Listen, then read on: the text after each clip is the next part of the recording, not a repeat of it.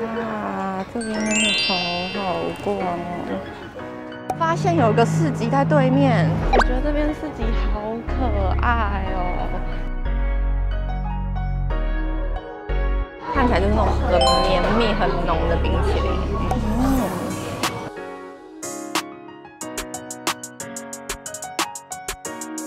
这一趟的美国行算是我觉得最喜欢的一座城市。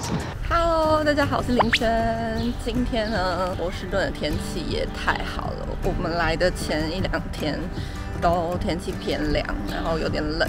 但是今天呢，整个是大太阳，而且我们住的这条街阳光洒进来，加上那个叶子这样慢慢飘下来，真的是超美的。所以我就想说呢，趁着下午的空闲时间，我自己一个人呢又要去晃晃了，也是属于一个有点漫无目的的晃。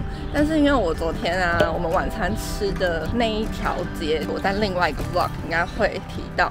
就是昨天晚上去吃龙虾意大利面那条街，那时候我们从那边走回来，这边大概二三十分钟，沿路呢我都觉得很漂亮，所以我决定呢今天再回到那条街上面。我现在就是要再从住的地方走回去那条街，给大家看一下我们住的地方附近，我觉得这边的房子都超漂亮。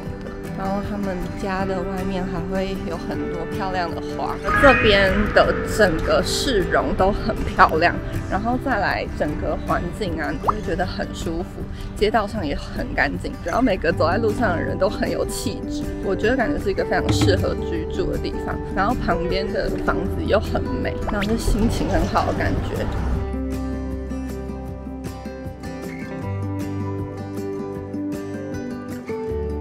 现在呢是下午四点，大概是太阳最大最大的时候。来这边就是要很习惯，因为以前在台湾印象中都是十二点一点太阳最大最热，但是因为这边太阳下山是八点多，所以通常下午三四点才会开始是最热的。不知道为什么我连他们的轻轨行驶在地面上的样子都觉得很美。其实还蛮神奇的，就是美国这么大，然后每个地区呢，他们每个地方都超级不一样。我上次在拍旧金山那一集的时候，就有人问我说，美国是红灯过马路吗？他们是在红灯前的时候会出现一个红色的手的。图案，然后一闪一闪一闪，那个就有点类似黄灯的感觉，就是在红灯前会一闪一闪，然后真的红灯的时候，那个手就会停住，就不会闪了。OK，现在已经走到昨天我们吃饭的地方附近了，开始有很多餐厅跟小店在这里。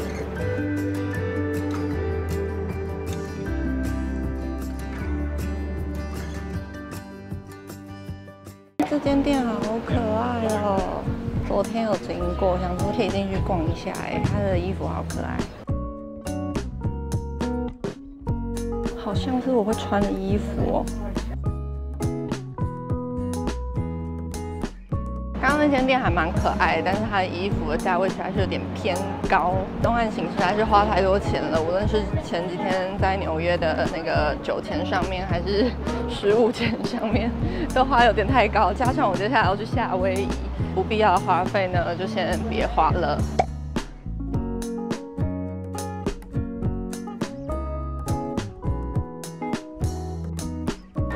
好酷哦！这个感觉是那种再生纸做的厚的笔记本，纯白的笔记本哎，好可爱哦！这个如果是我还是学生时期的话，我搞不好会买哦。然后他卖的东西看起来都很有质感，哇，他笔记本都做得好好看哦。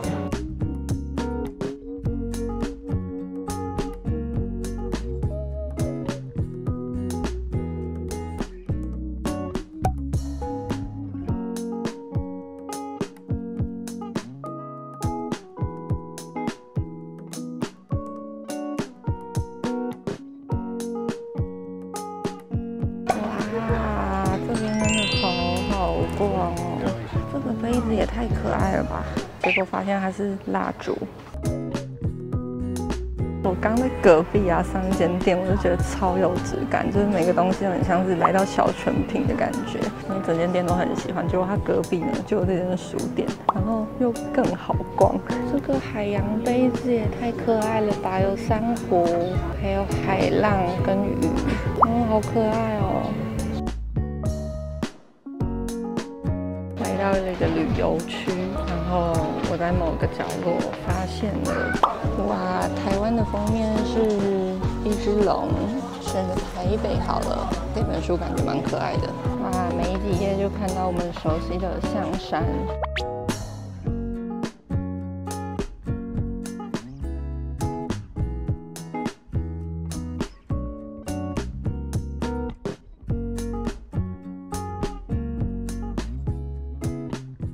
己本身是一个对于阅读文字很慢或者很容易没有耐心的人，所以看一本书呢，常常需要花很多的时间，甚至常常很容易没有看完。那相对于阅读呢，我平常就有在听 podcast 的习惯，所以喜马拉雅国际版喜马拉雅这个 app 呢，就非常适合我。最近呢，就有用它来听书或是听 podcast，那就在我一些比较零碎的时间，像是通勤啊、运动啊，或者是工作做杂事、做家事的时候，就可以节省坐下来阅读一本书的时间，也可以一边吸收知识。那我很推荐喜马拉雅上面有一本我自己的好朋友雷咪去年出的书，就是《小资族下班翻倍赚》。那这本书呢，就是超级针对我这种理财的新手菜鸟。这本书呢，它会教你最基本、最简单的观念，然后让你可以找到一个最适合你投资理财的方式。因为呢，它的声音就是雷咪本人念的，所以我会让我觉得说，哦，就像是雷咪在对我讲话的感觉。然后又比起文字阅读，又更容易理解吸收。那现在呢，喜马拉雅正在举行闪亮女孩公益的活动，希望呢能够有更多人关注女性学习成长的议题。那现在只要点选资讯栏的专属链接，就可以拿到免费三十天的试听。在八月十八号前呢，只要多一个人领取试听，喜马拉雅就会多捐赠一美金给国际妇女基金会。那如果你试用后不喜欢的话，你可以在期间内取消订阅，也不会被扣钱。无论呢最后有没有订阅呢，喜马拉雅都会进行捐赠。那大家可以赶快点选下面的资讯栏链接，一起听书，一起做公益。它这条街有点太好逛了啦，但我真的很喜欢，就是他们每个店都很有风格。发现有个市集在对面。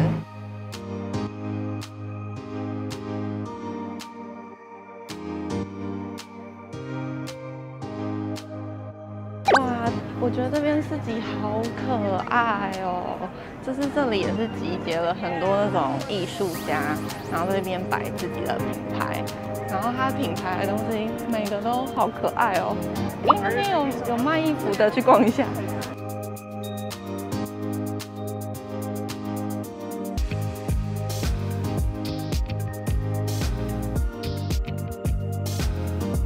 这个市集实在是太酷了。那我现在来到一个食物区，这边有各式各样的餐车，有卖一些热狗类东西。发现这一区呢是要买票的，然后你只要买票呢，就可以在里面喝酒。我这几天酒精含量有点高呢，一张票是八块钱。好啦，我决定不买票了，因为我等要去吃晚餐了。觉得哎呀，蛮幸运的，可以遇到这个市集，因为我昨天还在一模一样的这一条路吃晚餐，但是刚好今天是礼拜六，所以就遇到了这样子的可爱小市集。经过了一个小公园，然后继续往这边走。我好像已经走出了刚刚很热闹的那一条街了，开始变得安静起来。波士顿的这边附近真的很多的大学，所以常常都会看到很多学生走在路上。啊，这边好漂亮哦！我现在有点不知道我要去哪里。我刚刚看到路人在吃 ice cream，想说那我是不是也要买一个呢？OK，我马上 Google ice cream，三十公尺就有一家。这间 Bar Out，蛮多人在排队的。这间店的外面的壁画好可爱哦！发现地上有 QR code，QR code 扫下去呢，就会出现 menu 了，然后你就可以选一些你的口味啊，然后还有你的 size 大小，等下就可以直接给它点。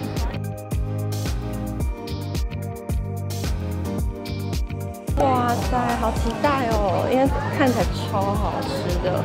我点的是那个 low fat。Frozen yogurt 蓝莓口味的冰淇淋，我觉得它跟一般冰淇淋不太一样，它不太融化，哎，看起来就是那种很绵密、很浓的冰淇淋。我们来吃吃看。跟我想象中不太一样，我以为它的奶味会很浓，但可能也是因为我点的是那个 yogurt 的关系，所以它起来超清爽，而且它是可以吃得到那种蓝莓的果粒。嗯。会有一个就是点餐的过程，就是你可以先选你要的口味，然后跟你选择你要杯子还是你要那种 corn，然后你有没有需要加什么 topping 之类的。因为我想说等下吃晚餐的时候我就用杯子装，而且我还是选最小 size，然后它还是超满。好吃啊！好啦，我想说呢，今日的 Boston 一日逛逛小 vlog 在这边结束。今天的影片完全不是去什么太特别的地方，就纯粹是我昨天吃晚餐经过的这一条街，然后我觉得还蛮值得，就是自己再来逛逛的。好，现在就赶快把冰淇淋吃一吃，然后跟他们汇合去吃晚餐了。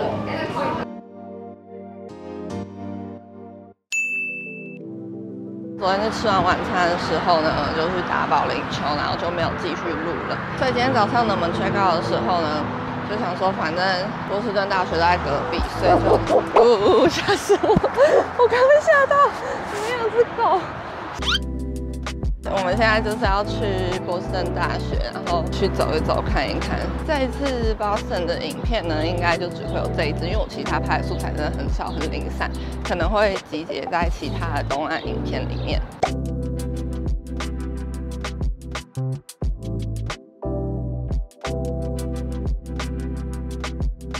走进来了，哇，他们学校好漂亮哦。今天礼拜天，所以很多学校的东西都关起来，也看不到什么学生。现在呢，要上桥了，从这个楼梯上去，然后等下过桥到那边桥上来。哇，有人骑脚踏车，有人散步。今天来到这个桥上，然后我觉得望出去的风景很漂亮，然后你还可以划独木舟。其实真的是走在波士顿的每一个街道上，就是让我感觉超舒服。就今天呢，从住的地方一直往大学，然后一直往上桥到现在，就是每一个经过的人，他们都很惬意的在慢跑，然后骑脚踏车，慢慢散步，就是整体的城市氛围让我觉得很舒服。这一趟的美国行，算是我觉得最喜欢的一座城市。我们等下去吃完午餐之后，今天晚上就要去机场了。所以也算是完成了整趟的东岸行。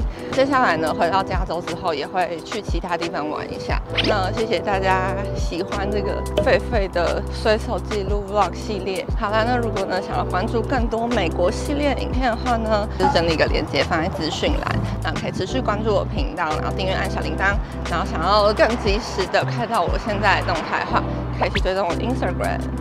好啦，大家下次见喽。Boston，拜拜。